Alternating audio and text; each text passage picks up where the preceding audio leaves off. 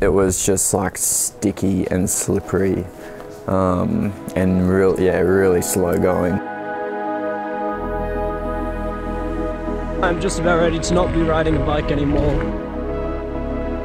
Oh, mentally really tough right now.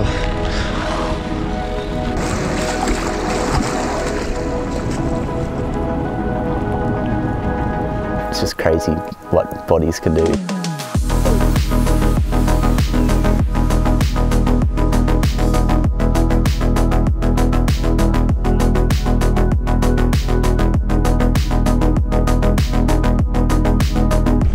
Though it's a bit of a suffering time, actually having a lot of fun.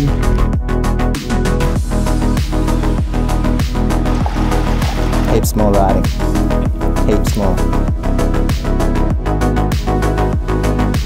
If you got through today, you'll get through the rest of the ride.